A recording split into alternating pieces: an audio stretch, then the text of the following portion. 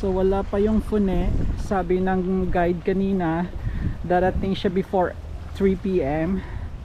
ang ship na sasakyan namin para umikot dito sa island. So habang hinihintay po natin yung uh, ship, mag-iikot muna tayo sa along the bay.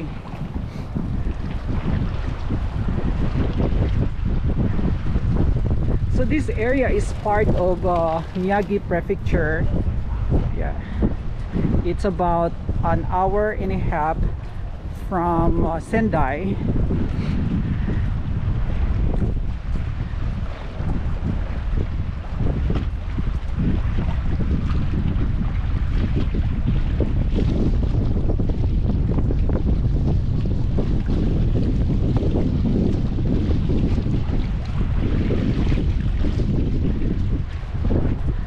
Para maubos na yung aking is SD card so I need to buy one later when I get to the hotel. Back to, back to the hotel.